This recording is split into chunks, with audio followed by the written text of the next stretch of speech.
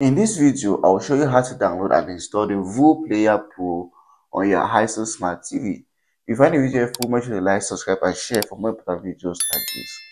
So to install this application on Hisense Smart TV, please there is only one way, which is using the App Store because this Hisense Smart TV, you cannot sideload applications.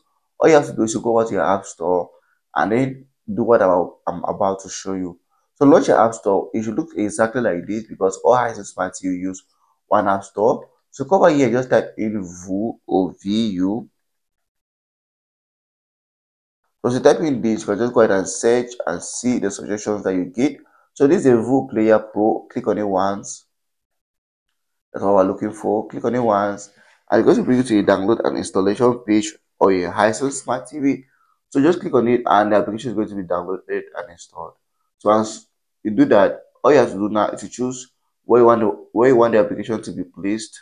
So you can just choose anywhere that you want and place application. Once that is done, you can go ahead and launch it already.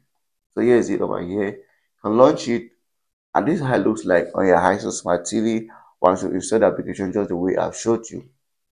So just go ahead and launch it. It takes some seconds to launch, but here's the application and you're good to go.